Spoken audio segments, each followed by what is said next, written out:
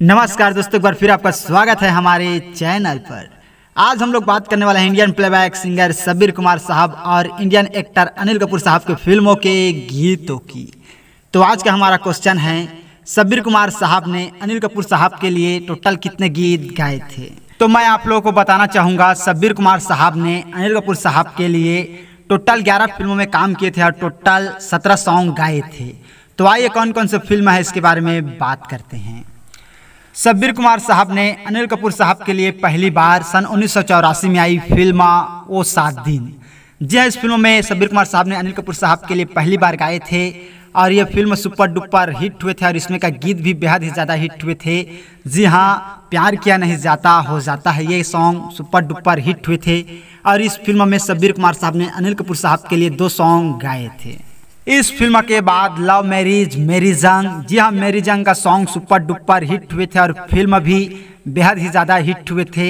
ज़िंदगी हर कदम एक नई जंग है।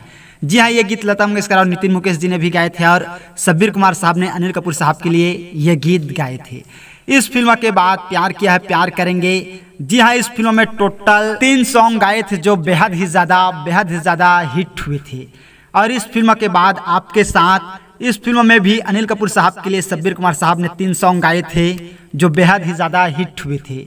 इस फ़िल्म के बाद मिस्टर इंडिया, इतिहास, तेजाब, कसम, अभिमन्यु जिगर वाला जैसे फ़िल्मों में सबीर कुमार साहब ने अनिल कपूर साहब को अपनी आवाज़ दिए था टोटल 11 फ़िल्मों में सबीर कुमार साहब ने अनिल कपूर साहब को अपनी आवाज़ दिए थे और 17 सॉन्ग सबीर कुमार साहब ने अनिल कपूर साहब के लिए गाए थे।